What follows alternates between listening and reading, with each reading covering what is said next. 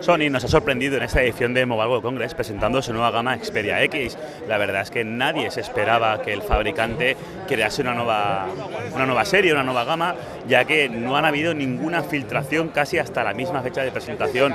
Y bueno, evidentemente nos hemos acercado al stand del fabricante japonés para probar todas las nuevas soluciones con las que pretende recuperar ese mercado perdido tras, digamos, el descalabro de las últimas generaciones de la gama Xperia Z. No os perdáis nuestro análisis del Sony Xperia X, Sony Xperia X Performance y Sony Xperia XA. Vamos a comenzar hablando sobre el diseño del Xperia X Performance, que bien os podría estar poniendo el Xperia X, ya que el diseño es, la verdad es que es calcado.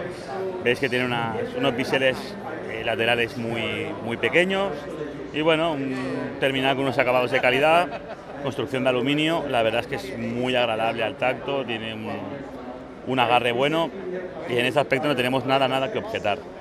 Vamos a comenzar mostrando su lateral derecho, es donde nos encontramos primero la tecla de control de encendido del terminal, que además funciona como sensor de huellas dactilares, control de volumen para subir y parar el volumen, aquí no hay mayor misterio, y el botón dedicado a la cámara. Este botón a mí personalmente me gusta mucho ya que nos permite eh, realizar enfoques o realizar capturas de forma automática tan solo presionando el botón. Vamos a pasar al lado izquierdo, que bueno, lo único destacable es la salida para conectar la tarjeta micro USB, micro SIM, además de un slot para ranuras micro SD. Como siempre, bueno, Sony vuelve a apostar por la ampliación de memoria, que es uno de los temas que más habían sido criticados en anteriores terminales de otras compañías. Pasando a la parte frontal es donde tenemos la entrada para conectar unos auriculares de 3,5. Eh, no hemos podido probar el sonido, pero hemos probado el sonido del Xperia X en un stand aparte y la verdad es que sonaba bastante bien. Así que teniendo en cuenta que es la misma tecnología del Xperia Performance, podemos suponer tres cuartos de lo mismo. Y por último, en la parte inferior es donde encontramos el puerto de carga micro USB, que es lo que nos servirá para conectar el teléfono al ordenador o ponerlo a cargar. En definitiva, es un diseño atractivo, un diseño cómodo, sigue la, estela Omnibalance de, Sony, bueno, veremos si funciona bien en el mercado. Bueno, vamos a pasar a hablar de las características técnicas del Xperia X Performance. Como podréis ver, la calidad de su pantalla es bastante buena permitiendo una reproducción de vídeos en una calidad bueno, muy, muy interesante, unos colores muy vivos.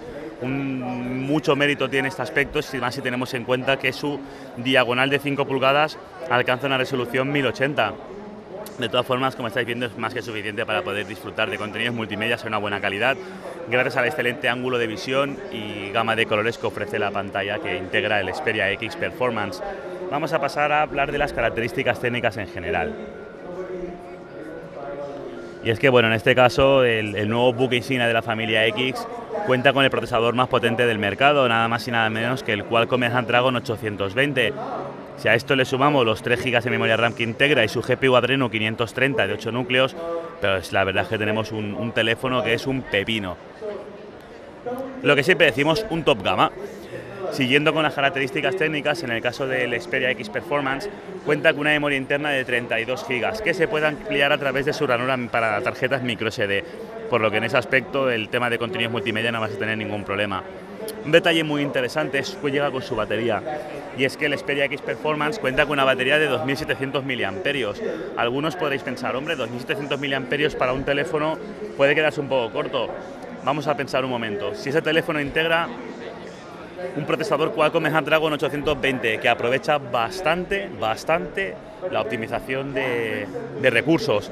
Le sumamos a una pantalla 1080p y una pantalla de 5 pulgadas, la autonomía que puede ofrecer el Xperia X Performance puede ser realmente interesante, aunque como siempre habrá que esperar a que podamos hacer unas pruebas más, más completas. Y por último vamos a pasar a hablaros de las cámaras. Por un lado tenemos la cámara frontal, formada por una lente de 13 megapíxeles que realiza unas capturas realmente impresionantes y el punto fuerte llega con su potente cámara trasera que integra un sensor de 23 megapíxeles que hasta en este caso ofrece un rendimiento sencillamente espectacular, como vais a ver más adelante. Bueno, como os comentaba, uno de los puntos fuertes llega con su cámara y es que el Xperia X Performance cuenta con una lente principal formada por un sensor Sony de 23 megapíxeles que ofrece unas capturas realmente impresionantes, como podéis comprobar.